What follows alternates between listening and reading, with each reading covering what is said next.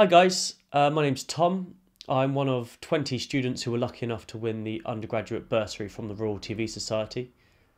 I'm just about to go into my second year at Bournemouth University studying television production, but this summer has been really, really busy for me.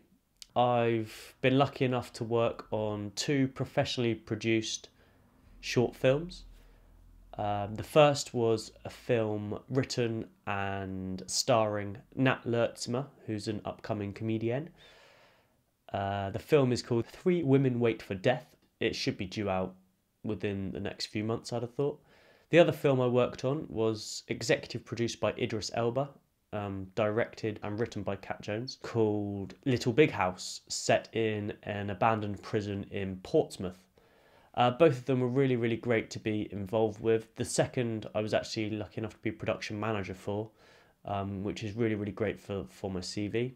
Uh, with the money that was awarded to me from the Royal TV Society, I've bought my own camera equipment, um, which is what this is being recorded on now. I've bought a Canon DSLR 70D um, and some basic kind of microphone equipment just to try and make it just that slightly bit more professional sounding. Um, and yeah, I suppose that's that's the basic update. I feel really really lucky to have been awarded the money for the bursary. Um, it's going to be three instalments of a thousand pounds for the next three years, and I think I'm just going to basically use it just to bolster my equipment, um, or maybe put it to one side for travel expenses and things like that for my own short films. Uh, I ultimately my dream is to get into either film or sort of drama series for television.